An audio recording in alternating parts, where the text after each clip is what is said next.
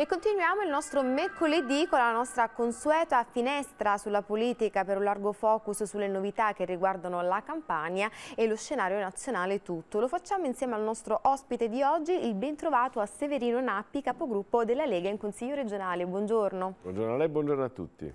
Partiamo da un provvedimento del governo che sta creando non poche polemiche, direi, la valutazione dei magistrati e del loro operato che sta sollevando veramente un polverone di contesi paese. Come commenta questo che sta accadendo?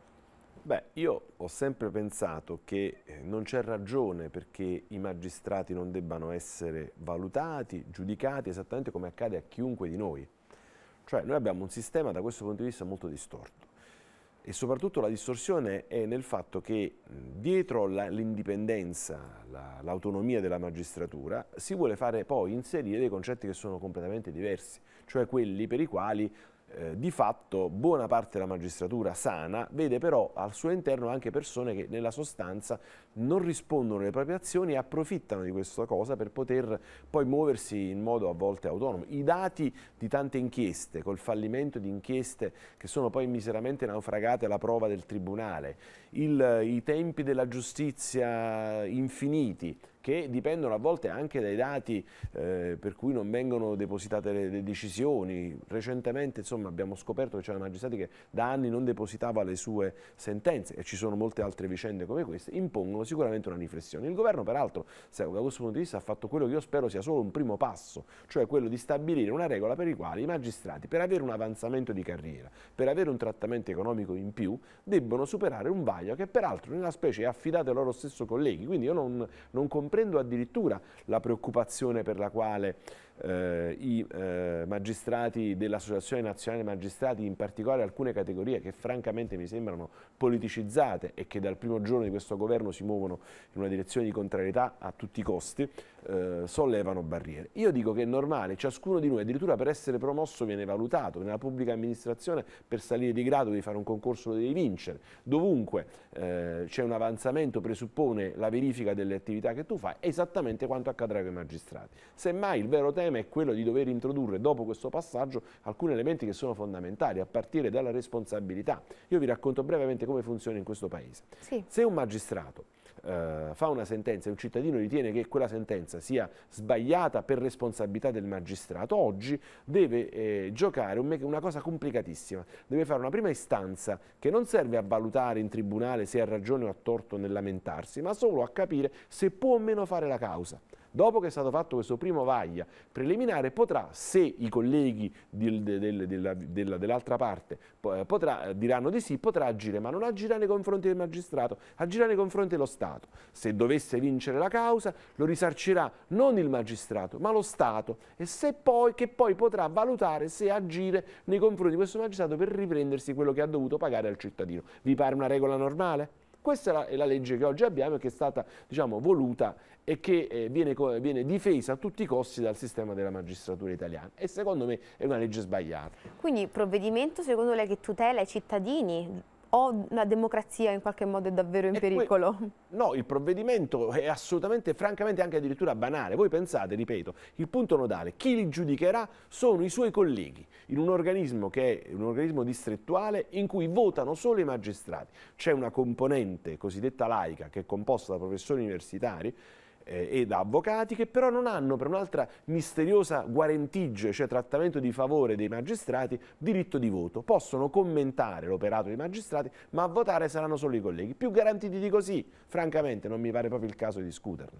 Quindi la macchina della giustizia potrebbe velocizzare in qualche modo il suo percorso, anche alleviare eh, i cittadini e lo stato dei tempi proprio, che a volte sono dannosi per tutti gli attori in Beh, essere. Io guardi, eh, dico che su questo tema bisogna stare stare molto attenti perché è una questione molto più complicata di quello che sembra. Negli ultimi anni sono state fatte delle modifiche per accelerare i tempi del processo. Se si va a guardare queste modifiche però, e io quindi lo dico da avvocato e da giurista, non sono favorevole a questo approccio, non si è velocizzata la giustizia garantendo una giustizia giusta, ma si è semplicemente tagliato spesso il diritto del cittadino ad avere una giustizia fatta bene, cioè perché non è soltanto quanto ci metti a aver ragione, ma anche aver ragione. Se certo. tu crei delle regole per cui il magistrato si può appiattire sul precedente, per cui se trova una sentenza per un caso similare la può applicare e finisce lì, se ci sono delle preclusioni eh, procedurali per cui praticamente chi è eh, in una condizione di difficoltà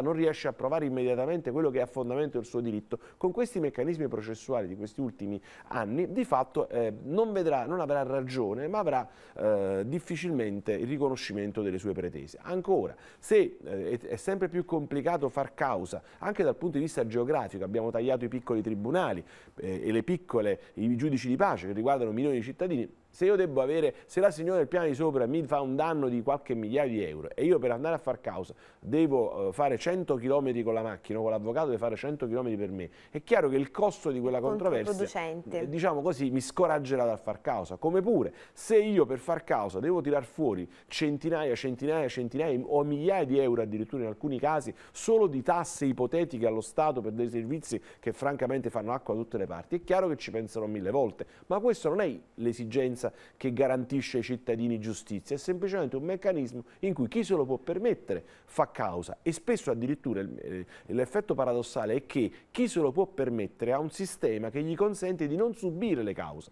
Voi pensate oggi quanto è complicato aver ragione con una banca, con un'assicurazione, con i cosiddetti poteri forti che hanno un sistema diciamo, di difesa che è stato realizzato in questi anni da un legislatore spesso diciamo, più attento a queste cose e che poi ha trovato una, diciamo così, una sponda favorevole nella magistratura, per cui sostanzialmente ci troviamo di fronte a dei meccanismi che sono oggettivamente respingenti per il cittadino, che è quello che dovrebbe essere il principale beneficiario e attore di una giustizia degna di questo nome. Restiamo sul discorso circa la tutela del diritto per il cittadino. Lei si è tanto prodigato per la difesa dei proprietari che si sono visti eh, sottrarre le proprie abitazioni abusivamente. Qualcosa finora si è mosso, finalmente la giurisdizione si sta muovendo qualcosa? Certo, nel senso che noi abbiamo sostenuto che non è possibile, come accade ogni tanto, una cosa incredibile, cioè la tua casa magari è vuota perché sei andato a trovare tua figlia in un altro posto, sei fuori un mese, torni la trovi occupata da, da qualche bandito che approfitta di un quadro normativo precedente per il quale cacciarti fuori è complicatissimo e ci metti anni.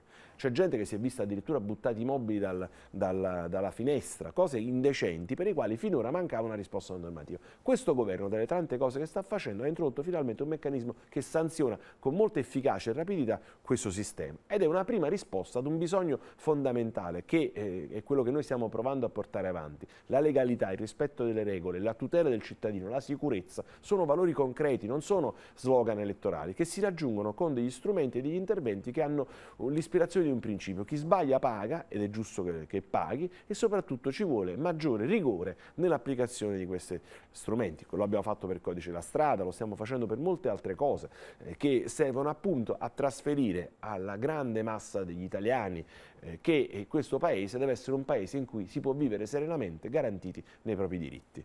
Ecco, come rappresentante della Lega lei ha fortemente voluto misure contro la criminalità minorile. Quali secondo lei le strategie da adottare per arginare dei comportamenti dannosi che mettono poi in pericolo la vita eh, dei nostri ragazzi? Due versanti sono quelli che eh, vanno messi in campo. Il primo, quello appunto dell'inasprimento delle regole, cioè un sistema lassista per il quale il minore, in forza del fatto di essere minore, sostanzialmente in modo anche indipendente dalla gravità del fatto, aveva un trattamento che spesso è, eh, diciamo così, ingiustificato giustificato e, e, quindi da un lato il cambiamento dei costumi ha imposto nel disegno di legge che la Lega ha voluto far approvare in Consiglio dei Ministri l'abbassamento dell'età eh, pensionabile e poi la, la, eliminazione di una serie di paletti di favore, trattamenti che sono ingiustificati rispetto a reati gravissimi che in questi anni questa città ha pagato un prezzo enorme, basta pensare al caso di Giorgio o di Pio Aimone, cioè eh, Francesco Pio Aimone che sono stati eh, uccisi da giovani delinquenti che di fatto non avevano certo diritto a sconti o riduzioni. E questo è un pezzo importante che noi dobbiamo garantire. Nessuno sconto,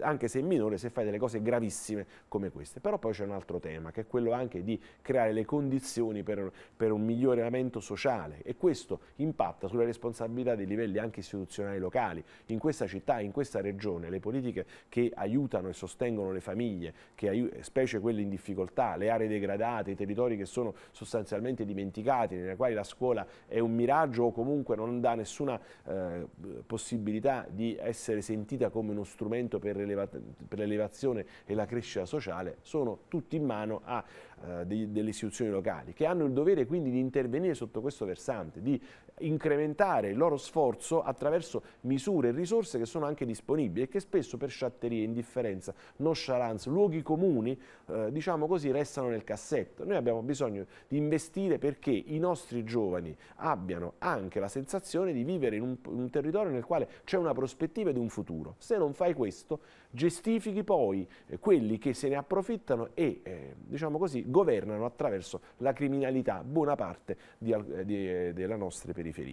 Quindi non solo non i solo. minori, ma anche i genitori devono prendersi la responsabilità di atti non consoni dei figli. Ed è questo anche parte dei provvedimenti normativi, quindi l'inasprimento delle sanzioni non riguarda più solo i giovani, ma riguarda anche i genitori che devono, devono essere finalmente responsabili del, della condotta dei propri figli. Non si possono girare dall'altra parte perché spesso sono addirittura i motori di, di quanto di negativo accade e quindi c'è bisogno da questo punto di vista di essere ancora più inflessibili che rispetto ai minori.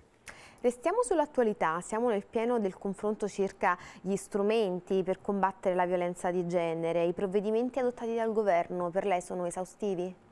Guardi, il tema della violenza di genere è un tema drammatico, nel quale eh, probabilmente il centrodestra negli anni ha fatto sicuramente degli interventi importanti. La legge sullo stalking fu voluta da un governo di centrodestra, oggi c'è un'azione che in qualche modo vuole recuperare anche una misura eh, e strumenti che siano adeguati a tutelare la donna. Su questo c'è sicuramente un ritardo storico e culturale, anche le, le, polemiche che ho letto in questi giorni a proposito della vicenda di Giulia con, con eh, di, anche di affermazioni veramente incomprensibili o comunque inaccettabili rispetto alla disponibilità, all'indisponibilità, che sono valori totalmente fuori discussione in un caso come questo, credo che però ci insegnano anche che noi abbiamo bisogno di fare un investimento sociale su questo tema, perché eh, da questo punto di vista il riconoscimento del diritto della donna a essere serena e a fare la sua vita in tranquillità è importante, come è anche importante oggettivamente intensificare lo strumento di controllo e di tutela del territorio. I,